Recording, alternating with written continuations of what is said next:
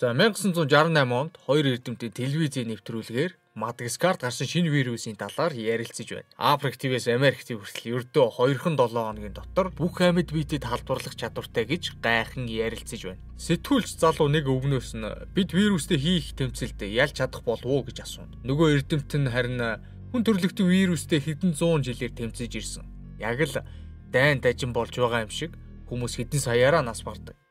Гэхдээ бид вирусыг үргэлж ялсаар ирсэн гэж хэлнэ. Тэгсэн хариуд нь сэтгүүл залуу тэгээд бидний яалж чадахгүй зүйл гэж юу энэ хорвоо төр байдаг юм уу гэж асуув. Тэгсэн нөгөө өвгөн хариуд нэг зүйл бий. Гэхдээ энэ бол анх сонсож байгаа хүнд үнэхээр инээтэй сонсогддог. Гэхдээ яг хөө хилээд өгч. Энэ бол мөөгөнцөр. Мөөгөнцрийг анх хүн харахад бол нэг хүнд хоргүй мэт санагдана. Гэхдээ тэд хүний хэлээр ярьж чаддаг байсан бол зарим нэг төрлийн мөөгөнцөр чамтай энд мэтгэлцээд сууж байх байсан. Зарим төрлийн мөөгөнцөр амьд биетийг зүгээр ч нэг хороодоггүй. Тэдний оюун санаанд нөлөөлж дотроос нь махан биеийг нь удирдах чаддаг. Вирус хүний биеийг өвтгөж устгах чадах бол мөөгөнцөр бидний оюун ухааныг удирдах чадна. Шавжин дарахдаг мөөгөнцөр байдаг. Жишээ нь шоргоолц тийм төрлийн мөөгөнцрөөр өвчлөхөд тэр хяналтаа алдаж зүгээр л түүний утсан хүүхэлтэй болдог.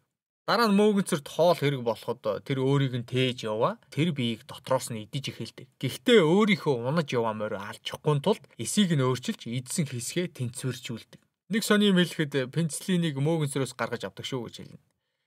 Тэгсэн хажууд нь сууж байсан эрдэмтэн иймэрхүү төрлийн өвчин хүнд халдварлаж байсан удаа байхгүй л дээ гэхэд тийм ээ тэр болгон мөөгөнцөр биеийн дотоод температур нь 36 градусаас дээш байгаа организм дотор амьд байж чаддаггүй.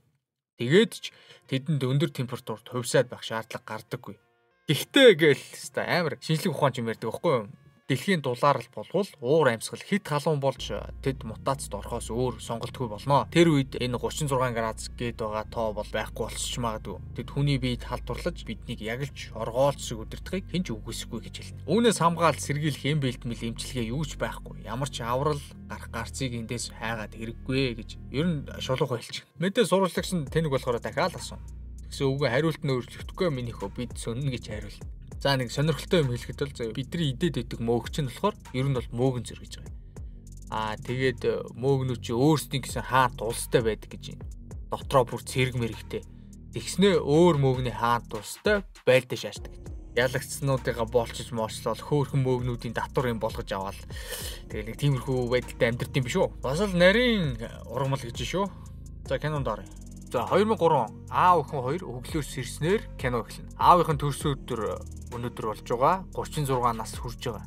Гэхдээ муухай гөгшин царайтай. За тэгээд аавынх нь найз Том ирснээр машинд нь суугаад нэг нь хичээлдээ нөгөө нь ажилдаа явна. За энэ өдрийн он сар нь 9 сарын 26 Остон Техас мужи. Охин хичээлээ тараад аавынхаа цагийг янзлуулахаар засварчин дээр очино. Гэрээсээ гарахтаа цагийг нь автсан төрсөн өдрөөр нь ядаж цагийг нь янзлуулчих санаатай явж байгаа. Тэгээ засварчин дээр байжсэн чи гинт нэг хүүхэн арийнхын өрөөнөөс гарч ирснэ. Манай хаалаа одоо гэрлүүгөө яв гэж хэлнэ. Тэгээд нэг л сэжиг бүхий хаалга цонх зурга бүгдийг төвж аяа. Аав охин хоёрыг хөршгээд нэг эмгэн өвгөн хоёр охинтойгоо амьдардаг. Аа бас нэг нохот эмэг нь саажилттай. Буржгар өстэй охин цаг засварын газраас ирээд хөршиндөө байж исэн чинь нөгөө дууг суугаад идэг эмэг нь нэг л хачин байгаа л баг хувирах гатж байгаа юм шиг жоохон чихүү цөхөрмөр хэсэг.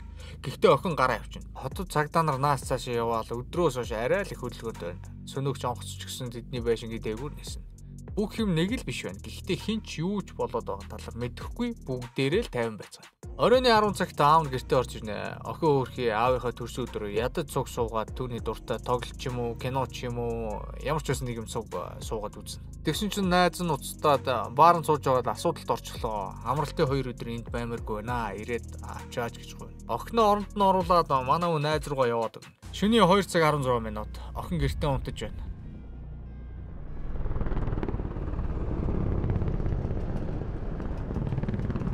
Гэрийнх нь гадаа сонин гэрэл асаад л нэслэг тэрэг дуурснаар буржгар өстэй охин сэрнэ. Гэртээ ганцаараа байгаагаа мэдсэн охин зурагтаа асаатал гэрээсээ битгий гараараа гэсэн мэдэгдэл явж байна. Тэгсэн гэнэт хажуу айлынх нь нохоо цонхын догшоод буржагийг гаргав. Таньдаг юм болохоор нохоог нь гэрлөө оруулж өгөх гэтэл нөгөөх нь бүр сүүлээ хавчаад гэрийнхээ эсрэг зүгт зайлаад өг. Охин яагаад ч юм бэ хөрших рүүгээ орно. Галдуунд нь орсон чинь нөгөө өг нь бөөн цус болчихсон авраарай гэж сууж байна. Тэгээд хажууд нь бас чимээ гараад харсан чинь нөгөө саажилттай юм гэж охиноо идчихсэн сууж. Писта өмнөөс хийж амнаас нь юу ч цухуугаад байгаа. Тэгээд дээрээс нь бүр лалрын царайтай юм. Тэгснэ буржгар рүү дайрна. Хөөх юм нүдэ бүлтийд ларж байснаа тэднийхээс зогтож гудамжинд гарна. Яг тэр үед аав нь ирж таарах бөгөөд нөгөө балер эмгний чинь нам зохиж унгаана. Өнөөх нь үгс юм уу, яасан бүү мэд ямар ч байсан манай гур машиндаа суугаад тэндээс холдно. Нөгөө эмгэнт хазуулсан хоёр нөхөр бас л зомби болчихсон гудамжинд гараад байна. Хазууллаа бол халдвар аваад балер эмтэн болчихд юм билээ. Хотоор нэг үүмээс ам уу. Охин нь юу болоод байгааг асуухад аав нь мэдэхгүй наа ямар нэг вирус л ороод ирчихсэн бололтой. Мэдээгээр юу ч мэддэхгүй байна гэд цаашаа явцгаана. Нөгөө гурав чинь замаар явж байтай л баахан хүмүүс зам дээр гараад ирнэ. За за ухрыг байж исэн чи ард нь онгоц сумж таар. Бүр бүхэл бүтэн том онгоц. Уцаал алуу урагшаа урагшаа гэж жоох явж исэн чи ард нь дэлбэрсэн онгоцныхын дугуй орж ирээд машиныг нь ямп мөргөн. За яагаад ч юм бэ найзаасаа салаад шагаага булгалсан окно тэрврээд явж алт. Тэгсэн чи хотоор нэг халдвар авсан хүмүүс нөгөө хоёрыг чи араас хөөж эхэлнэ яг бүгд дээрээ бишлээ нэг нөхөр гарч ирэл хөөд. Тэгэд яг манай хоёрыг нэг зомби маягийн амьтад байрж авах гэж идэл хин нэгэн буутчих. За найз нь байна да гэж харсан чинь нэг цэрэг байж таар. Тэгснэ битгий хөдөлгээд хүн амьтан руу ярьж байсан манай хоёрыг дахиад алах гад бүр буудна. Амт тэмцэл охиноо нэг тийшээ шидэл өөрөө нөгөө тийшээ өнхөрч унаад байж идэл найз нь нөгөө цэргийн буудаад унаач. Тэгэл охиноо харсан чинь гидсэндээ буудулсан. Манай хүн өөлөөл найзыгаа дуудсан чинь өнөөх нь найдваргүй гэдгийг анх хараад шууд мэдсэн болохоор э, юу ч хэлэхгүй зогсоол. Ингээд буржгар өст маань нас бар. А тэгснэ гэнэ 20 жилийн дараа гээд одоо үед болж байгаа зүйлсийг өгүүлж эхэлнэ. За тэгээ 20 жилийн дараа нөгөө соёл иргэншилт Америк чинь манай Улаанбаатартай адилхан болсон байна. Тэр хүн тэндээ халдваргүй хүмүүс нь тусдаа хашаа барьчихсан халдвартай халдваргүйгээд хоёр уу агчихсан байна. Гаднаас нэг бацаа ирсэн чинь чи аврагцсан одоо 50 байж болноо энэ төр гэж. Баахан гой гой юм ярьж ирснаа унтуулад шууд шатааж орох. А манай гол дүрийн залуу яг тэр шатаадаг хэсэг дээр нь ажиллаж байна. Хогийн хогийн ажил хийж ам зууж өдий хүрсэн гэдэг нь бол харагдаж байгаа байхгүй юу? За тэгээд карантины хэсгээс зөвшөөрөлгүй орж гарсан хүмүүсийн бүгдийг өчиггүй цаацлаа. Угаасаач тэрэн дээр баг л та. Тэгээ мөнгөн ч гэсэн юу нь мэддэхгүй хэдэн талон малонч болцсон хүн болгоны хайдаг болсон зүйл нь аккумулятор ч гэх шиг. За тэгээд карантин хийж байсан газраас генет бүх хүмүүсийг явахыг шаардна цэвэрлэх гээд байгаа мó, ариутгах гээд байгаа мó бүүмэд. За тэгээ дараагийн кадрт хөл гарнаасаа хинжлүүлсэн нэг охин гинэд гараад ирнэ. Муухай бүдүүлэх юм аа яаж яах. Тэр хувьд хууль сахиулдаг хүмүүс нь л хорж байгаа юм шиг байна. Ард хэрэгт нь тэнд хэсэг хэсэг газар бөөгнөрч гсэн баг нөгөө халдвар авч хүн идэг мангаснуудаасаа долоон дор боолын 8 эргэтэн хүн амтан 8 альцдаг болцсон баг дээр үдэ буцаад очсон.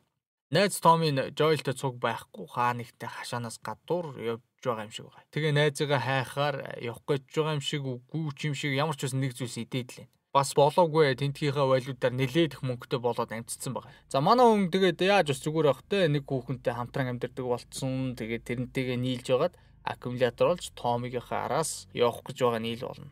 Харин нөгөө охиныг 20-од байсан гарууд чинь карантины зоон цагдаа нарын эсрэг бослог гаргадаг нөхдүүд болж таарна. Бослог удирддаг хүүхний өөр нэг бас нэг хүүхэнтэй ярьж байгаа яриан дундаас би ойлгохдоо нөгөө хоригдож байгаа хүүхэд дээ дээ тий нөгөө амар ууртай. Тэр охин халдвар авчгаад хувирахгүй яваад байгаа ганц хүн юм байна гэж ойлгосон. Тэгээд э, энд бослог гаргаад байгаа бүх хүмүүс нөгөө охин аваад хотоос гарахаар шийднэ. Манай no country old man найз хүүхэнтэйгээ ганц аккумулятор хайж хайж хотыг бараг тэр чигээр нь самарна. За энэ охиныг яагаад энэ төр сонгосныг би ч мэдэхгүй л дээ. Гэхдээ Game of Thrones дээр амар зөрөгтэй жижигхэн нэг охин байгаад хэдэж штэ. Тэгсэн чинь энэ кинон дээр яг тэр охин Game of Thrones-ийн дүрээсээ гараагүй ирсэн юм уу гэмээр зүгээр л царай муутай ч гэсэн дурламаар жүжигч юм болсон байлээ гэж хэлмээр байна. За тэгээ бослог өдөрдөгч хүүхэн нөгөө охиныг сулнаа. Тэгээд түүний нэрийг Эли гэж дууд. Охиныг чи хамгийн гол хүн шүү гэж хэлнэ. Залуу хүүхэн хоёр нэг хаалга эвдээд хонгил руу яваад орчихно. Бодвол нөгөө хумлятрал хайж яваа болтой. Тэгээд хонглын өрөөрөө ороод нэг балер юм олж харна. Өнгөрсөн удаад ирэхэд энд юм байгаагүй дээ гэж цаашаа явуулцгаана. Нөгөө кино эхлэхэд нэг өвгөн яриад байсан шүү дээ тий мөөгөн зэрэгтэргээд. Тэр чи одоо хүмүүсийг ийм болгоод халдварлуулад яваад байгаа хөөхгүй юу. Тэгээс үлдээ ингээд алчдаг. Эхэндээ зомби болгож аль болох олон хүнд витаминаа шахаж байгаад бүр болохоо болоод ирэхээрээ тээгч байд даага ингээд алчдаг юм байна. За тэгээ хонглоор явж явж ирсэн чинь нөгөө хумлятор зарах гэдээсэн баачкануудын бүгд бүгдийг хомроглоод алчихсан байна. Аккумулятор нь ч гэсэн яг уу нэг юм байна. Гэхдээ хэн тэднийг ороосон надад ч гэсэн сонирн байсан л та. Тэгээ цаашаа зүгээр текст бичгүй үзээлсэн байхгүй. Тэгсэн чинь нөгөө боссны бослого өдөрдөг хүүхэн чинь шархацсан босхгүй байж байна. Манай залуу Joel араас нь идчихсэн чи Кенет Эли араас нь хутга бариад дайрна. Мэдээж болтон л да. Тэгсэн чи сникер сүүхэн Жойлиг таньдаг болж таарна. За тэгээд бослог өдөрдөг хүүхэн бас хотоос явах гэж байгаа болохоор түүнд бас л аккумулятор эрэг болсон юм байна. Жойл ч гэсэн хотоос явна. Тэгээд таньдаг хүмүүс зам нийсэн ч санаа нийлэхгүй болохоор аккумулятороо булаацлах гэснээ болоод сникер сүүхэн Элигээ жаахан охиныг өөр хот руу та хоёр аваад яв би шархацсан байна. Тэгээд ч миний араас сагдаа нар хөөж байгаа. Та хоёрыг би ямар шүү хүмүүс вэ гэдгийг мэднэ. Та нар чаднаа гэж хэлсэн чинь энэ хүүхэд чинь тэгээд яг хий юм бэ гэж асуув. Тэгсэн чинь та нарт бол зүгээр л ачаа гэдээ ойлгож байгаа. Харин хөргөж өгөөд хэрэгтэй бүхнээ аваарай гэж амлана. Тэдний очих ёстой газар бол бослог удирдагчийн төв байр. За тэгээд э, нөгөө хамтран амьдрах хүүхэн эхлээд бидэнд хэрэгтэй бүхнийг өг үгүй бол охиныг алан шүү энэ төр сүрдэл. За тэгс тэгс нэг юм тохиролцоонд хүрнэ. Жойлын байдаг байранд э, нөгөө гуравч ирээ байж ийснаа охин би ханы цаана хизээж байж үзээгүй гэдгийг хэлээд амжина. За тэгээд э, нөгөө гуравч нь ханы цаана гараад ирнэ хүмүүсээс зүгтэн зомбинуудаас зүгтэн зомби ч гэжтэй мөөгөнцрүүд тэгн мэг нэгсэн төлөвлөгөөтэй салгалж явж байгаад нэг цагдаатаа даарчихна. Нөгөөх нь сүржигнээд гараа орог өнтэргээд бөө юм болно. Уул нь таньдаг царай байгаад байгаа байхгүй юу? Гэхдээ цагтаа цагийн найз гэдэг шиг новшин зан гаргаал бүгдийн нөгөө нэг шинжилдэг багжаараа шинжилээл Тэгэл яг нөгөө охин дээр ирсэн чинь манай нөгөө ээли чинь хутгатай тэгээ хутаа гартаа барьж байгаа нөгөө тийч хөлн зооч. За тэгэл хөөрхийн ажиллаа хийж байгаа цагтаа Жойли өвчсөн гинт төдлөд үгтэл нь баалтана. За тэгэл үжсэн чинь үгтэл нь баалбан заяа. За тэгээ яв өдөө энтергээл явах гал юу хийч вэ гээл юм бодоол байжсэн чинь нөгөө хамтран амьдрагч үгэн Жойл гэх муухай ойрлно. Юу болсон бэ гэхээр өнөө охин чинь халдвартай байна гэж улаан гэрэл асцсан байна нөгөө багжин дээр нь. Охин тайлбарлахдаа би халдвар аваад 3 7 хоног байна. Энэ идгсэн сорин энэ байна. А бусад хүмүүс бол аль дээр өхөс талдарцсан хувираад мөөгөнцөр болцсон байгаа. Тэгээд нэг тиймэрхүү юм тэр хүндээ хэлнэ. Тэгэл нөхцөл байдалч давчуу байгаа болохоор нөгөө гурав чинь цаашаа хамт цугтгаас өөр аргагүй. Тэгэл нөгөө нэг хан дээр нэм халдвартай зоон гээл байгаа хашааг манай гурав сэтэлж ороод киноны эхний анги дуусна.